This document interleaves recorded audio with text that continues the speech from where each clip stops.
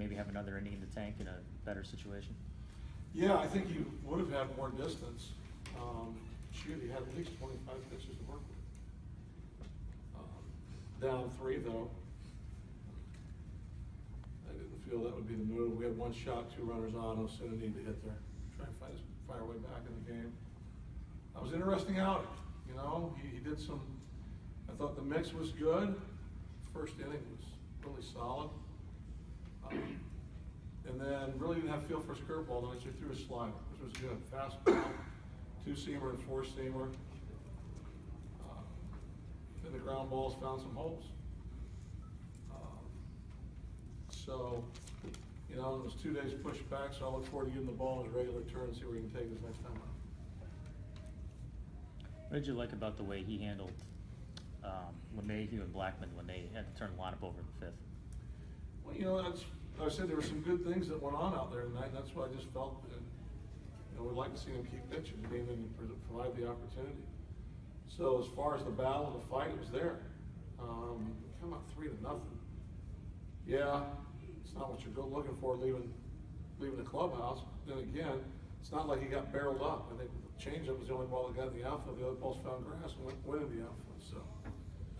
There were some, there were some good things to hunt as well.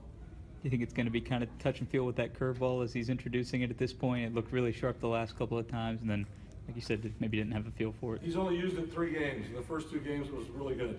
Tonight it wasn't, it wasn't really there, so time will tell. Did you guys judge any intent on this Cervelli hit by pitch?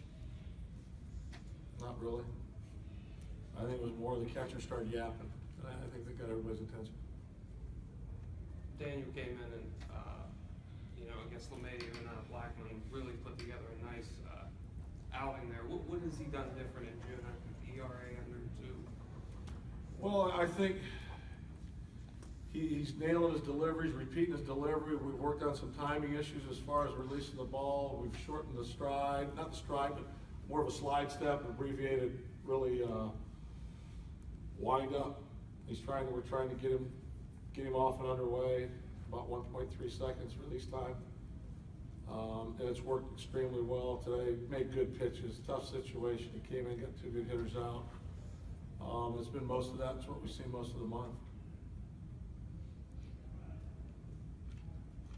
Offensively, just kind of one of those nights you talk about 15 managers having every night, not getting the hits when you need them, but putting plenty of guys out there.